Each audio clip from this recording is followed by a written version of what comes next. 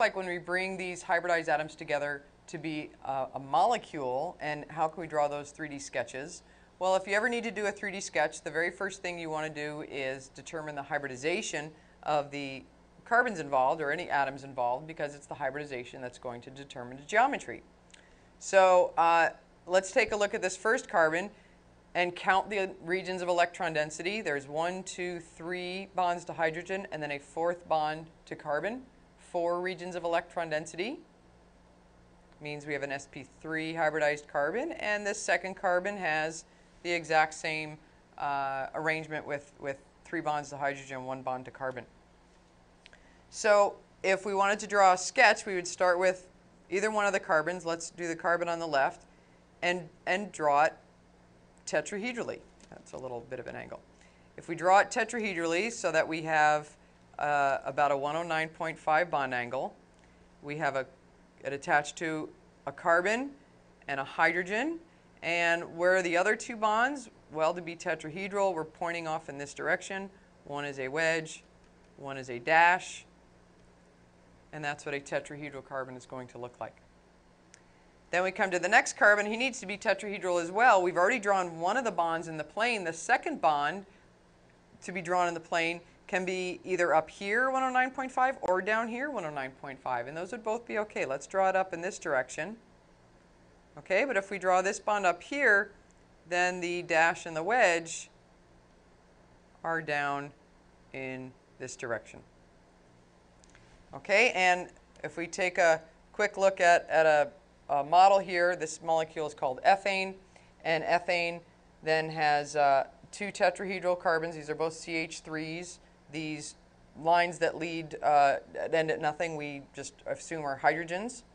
And so what we have is the carbon-carbon bond is drawn in the plane. We have two CH bonds that are also drawn in the plane, and then each of them has a hydrogen that's projecting out toward you. We draw as a wedge.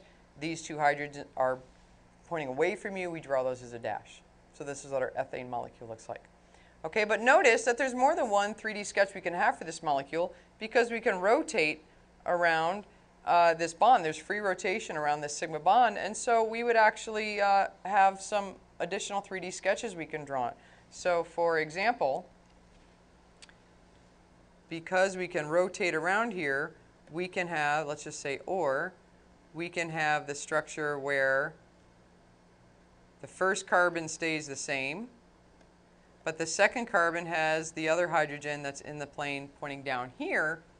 If this is where you draw the two bonds that are in the plane, then the ones that are out and back are pointing up here. So really work, working with models and really helps you understand what a tetrahedral atom looks like, and it's going to be much, much easier to draw the 3D sketches um, to make them more realistic. But the goal of your 3D sketch is that your, um, it actually has the same shape as, uh, as what you're seeing. Okay, how about uh, a carbon that has a double bond? This carbon has one, two, three regions of electron density. So this is an example of an sp2 hybridized carbon. And again, this symmetrical molecule has two sp2 hybridized carbons. So to sketch that, we draw a trigonal planar arrangement for the three sigma bonds. Hydrogen, hydrogen, carbon are the three bonds we have there. And on the second carbon, we also have a trigonal planar. That's going to share the same plane as the first one. So all these are about 120 degree bond angles. Okay, and those are all the sigma bonds all being planar. And now we have to show what this pi bond looks like. How do we get a pi bond? Well, that's by overlapping a set of uh, two p orbitals. And remember, every sp2 hybridized atom has a p orbital. It's right here. We can kind of draw it as a wedge and a dash on the first carbon, and then a wedge and a dash on the second carbon. And then one way or another, we want to show some kind of interaction between the top half and the bottom half to represent a, a pi bond. Remember, the pi molecular orbital had a cloud of electron density above the sigma bond and a cloud of electron density below, so this 3D sketch um, represents that pretty reasonably. And this is uh, a, a model of this molecule. This molecule is called ethene. And you can see that if we draw it, one way to draw it is just completely uh, to put all six atoms in the plane of the board. And, uh, and then the p orbitals are going to be right here, perpendicular on the first carbon, and the second carbon, here's our p orbitals, they're going to be overlapping above and below the plane. So we're going to draw that as sticking out and sticking back. Okay, another possibility, though, is to draw this with the p orbital and the pi bond illustrated very cleanly. So p orbital on one, p orbital on the other, connection of the two above and below. So that's a nice looking pi bond. But if our pi bond is what we're showing in the plane of the board, what does that do to our sigma bonds, to our hybrid orbitals? Well, now we've tilted the molecule like this, so you can see now that these two hydrogens are projecting out towards you. We need to draw those as wedges, and two of them are as dashes. Okay, now if you're reviewing this molecule perfectly straight on, these are going to be hiding each other. So what we do is we tilt the molecule just a little bit so that the back hydrogens are up a little, or we could tilt it this way so they're down a little. Um, those are both okay. But we need to show, let's show the two wedges coming a little bit in a downward direction, but really they're projecting straight out towards you. And then the two hydrogens slightly up and they're back. So both of those are, are good ways to draw the trigonal planar sp2 hybridized um, atoms. And, and this molecule of um, this molecule of ethene. Finally, we could take a look at this last molecule. We have an example here of an sp hybridized, two sp hybridized carbons that are, that are attached. We have, it's sp because we have just a triple bond and a single bond, so just two regions of electron density.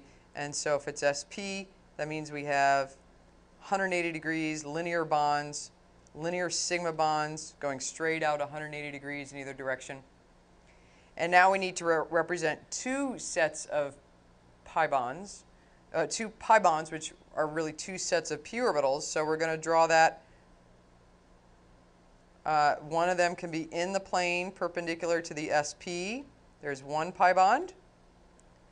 And where is the second pi bond going to be? That's going to arise from the pz orbital on one carbon, front and back, overlapping with the pz orbital, front and back on the second carbon.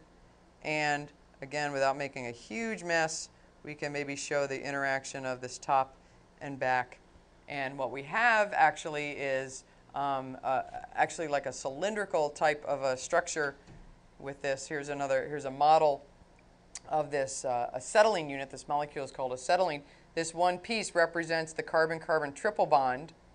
Here's it one carbon and the other carbon, and, and we have the two pi bonds here. So really what we end up with is actually a, a cloud of electrons just completely surrounding this linear uh, arrangement. Uh, and then we have a, an sp hybrid orbital sticking out directly in one direction and one in the opposite direction.